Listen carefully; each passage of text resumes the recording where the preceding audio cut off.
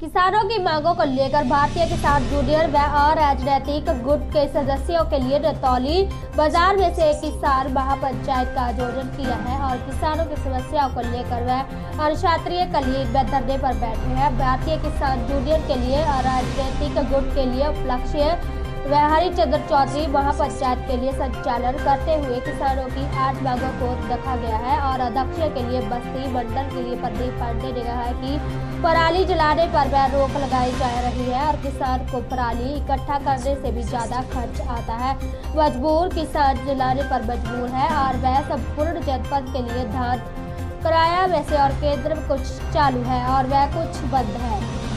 तुरंत चालू करवाया जाए, जिसमें किसानों को दान के लिए उचित मूल्य मिल सके और उन्होंने कहा है कि वह दान केंद्र के लिए वह ना खुलने से बिचौलियों के मौका मिलता है कि वह जनपद में से खाद, बीज के लिए विक्रेताओं के द्वारा मनमानी दाम लिया जा रहा है। मैं प्रदीप पांडे, मंडल उपाध्यक्ष, भारतीय किसान बस्ती मंडल।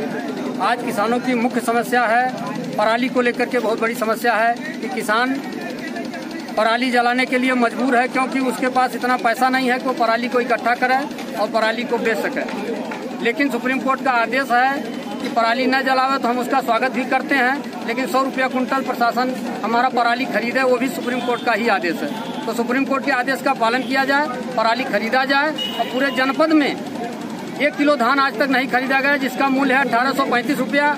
आज किसान औने पौने दाम में तेरह सौ रुपये के हिसाब से बाज़ार में बेच रहा है। किसान को आज तत्काल खाद की ज़रूरत है बीज की ज़रूरत है क्योंकि रबी का अभी सीज़न चल रहा है। इसलिए हमारी मांग है प्रशासन से कि हमारा धान भी खरीदा जाए और हमारा पराली भी खरीदा जाए।